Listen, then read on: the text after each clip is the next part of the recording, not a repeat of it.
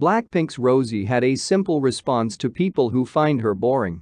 Rosie recently held a live broadcast in celebration of her birthday. During the live broadcast, she seemed to have received some comments saying that her live broadcast was boring.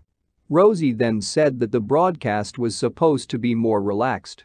Even if some viewers found the broadcast to be boring, Rosie asked them to be understanding and watch it. During the V-Live broadcast, Rosie wanted to have a relaxing time with her fans.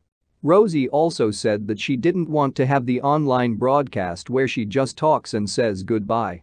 Rosie concluded by asking everyone to leave the broadcast on. A fan said that some viewers were so rude on Rosie's V-Live and told her to button up her cardigan, lower the music volume, and made her feel that she's boring on her birthday.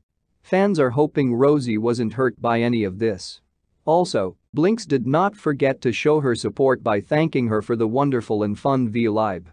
On the other side, Blackpink member Lisa already got 5.7 million subscribers, while IU has garnered more than 5.4 million subscribers.